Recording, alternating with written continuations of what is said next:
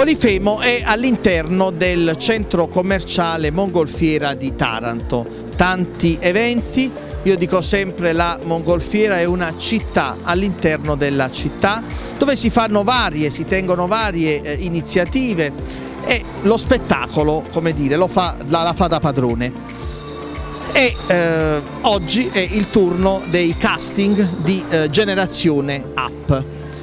Siamo con Giuseppe Stigliano che è appunto l'organizzatore, che è giornalista, presentatore, insomma un esperto nel mondo della comunicazione ed è importante quindi questa vetrina perché poi il successo non si raggiunge per caso, eh, non crediamo alle favole di essere baciati dalla fortuna, ma è un qualcosa che si costruisce giorno per giorno, cogliendo al volo quei tram in corsa.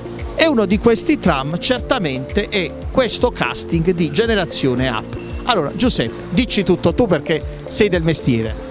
Certo, d'accordissimo intanto sul concetto del successo conquistato a Scalini, vale a dire non un successo effimero, un successo effimero, per successo effimero intendo quello conquistato d'Amblè, ma invece uno eh, conquistato proprio a scala. Generazione Up l'abbiamo definito il primo varietà del sud Italia, nel senso che eh, adesso il mondo televisivo è costernato da tanti talent, da tanti reality show e quindi un po' è cambiato il mondo dello spettacolo, il varietà da qualche anno ormai è andato scemando via via.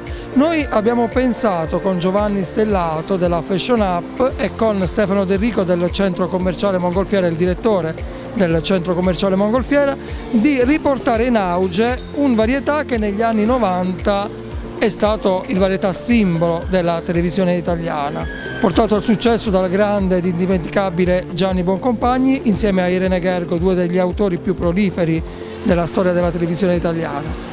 Generazione Up che cos'è? Richiama Non è la RAI, il varietà di Boncompagni e Gergo, che chiaramente è, eh, è finito 26 anni fa, quindi noi cercando di riportarlo in vita abbiamo anche ehm, in qualche modo voluto aggiornarlo ai tempi moderni, per cui non ci sarà solo la gara bionde contro more piuttosto che il cruciverbone, ma abbiamo pensato di inserire anche spazi nuovi e tra questi l'angolo influencer. La moda dell'influencer ormai su Instagram, con l'avvento di Instagram sta andando molto forte, piuttosto che anche um, l'angolo youtubers, un'altra un altro spaccato della nostra società contemporanea. Fenomeno di massa travolgente. Ormai sì, ormai sì, i social, ecco, con l'avvento degli anni 2010 i social hanno preso il posto delle riviste, dei settimanali che costernavano invece le pagine delle ragazze di Nonella Rai. Abbiamo uh, voluto riportare in vita un varietà, però, uh, ripeto, aggiornandolo ai tempi contemporanei. Soprattutto vogliamo um, dare spazio a tutte quelle ragazze che pur avendo delle velleità nel mondo dello spettacolo, e parliamo di canto piuttosto che di danza, di moda, eh, ma anche ragazze che sappiano semplicemente essere all'altezza di un programma televisivo, perché si tratta di un vero e proprio programma televisivo.